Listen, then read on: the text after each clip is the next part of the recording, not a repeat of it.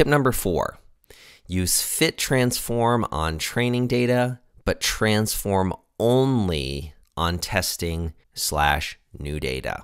This is crucial, okay? So let me clarify a few terms and then I'll kind of explain this in more depth. First, when I say testing data or new data, testing data means like data resulting from train test split, for example.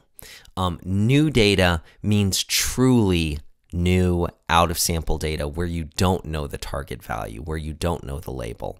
Okay, that's the distinction I'm drawing, but it really doesn't matter because you apply the same workflow to both cases. The other thing I want to clarify is fit underscore transform is a method you call that runs a fit followed by a transform. Okay, it runs the fit, then it runs the transform.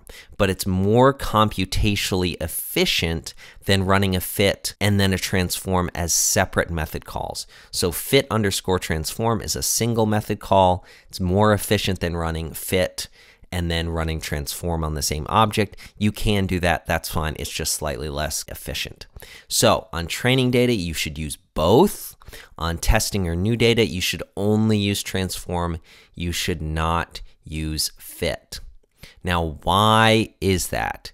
Because it will apply the same transformations to both sets of data. Let me give an example. If you're running one hot encoder on that embarked column we saw in our X data frame, it will learn the columns C, Q, and S from the training data. And it has to create those same columns, C, Q, and S, for the testing data. But let's pretend our testing data, our new data, only has the Q value.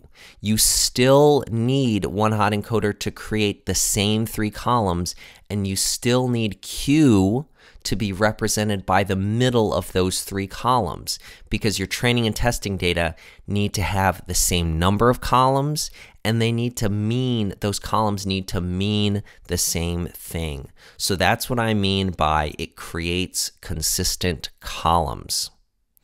Um, let me give you another example of all of this. Let's say the imputer learns a mean of 31.2 from training data well, it will fill in 31.2 if that value is missing in the testing data.